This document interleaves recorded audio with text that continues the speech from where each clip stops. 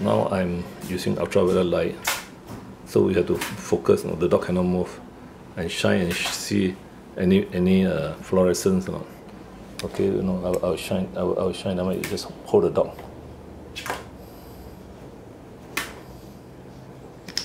I, I don't know don't block me. I, I need to shine to show the fluorescent there. You can see the fluorescent I need to focus on it yeah. so this fluorescent is fungus. You can see or not? Very hard to see. You can see the fluorescence. The leg. The lower part of the body. Okay can you cannot really see